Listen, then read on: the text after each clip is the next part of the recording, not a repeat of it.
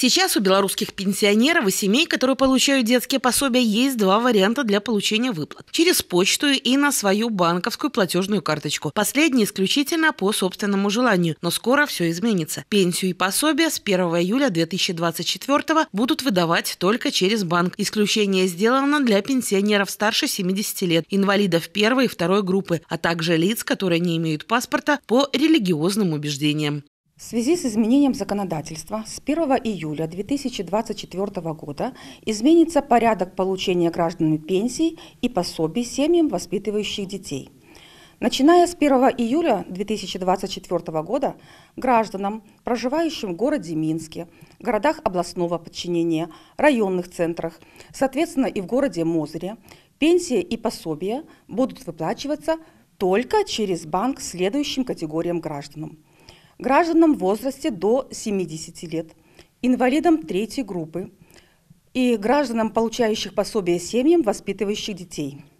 Исключение составляют граждане, которые получают пособие воспитывающих детей, которые сами являются инвалидами первой и второй группы – либо получателей пособий, в семье которых воспитывается ребенок-инвалид до 18 лет. Данным категориям граждан предоставлено право выбора получать пособие через банк либо через почту.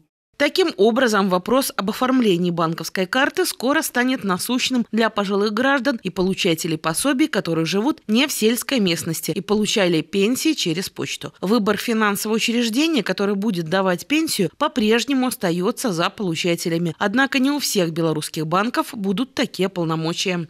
Для получения пенсии и пособия в банке необходимо открыть базовый счет не позднее 10 июня 2024 года а также одновременно заполнить в банке заявление о перечислении пенсии либо пособия. Банки-партнеры – Беларусьбанк, Приорбанк, Белагропромбанк, Сбербанк, Белгазпромбанк, Белинвестбанк, Банк Добробыт, Белвнешэкономбанк.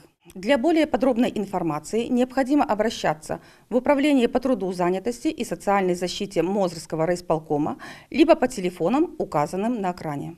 Конечно, вопросы будут возникать, но чтобы не было проблем с получением пенсии и пособий, начиная с июля, необходимо уже сейчас задуматься об открытии счета в банке. А если возникнут трудности, проконсультируют специалисты Управления по труду, занятости и социальной защите. Номера телефонов на ваших экранах. Светлана Грудько, Вячеслав Приписнов, телеканал Мозырь.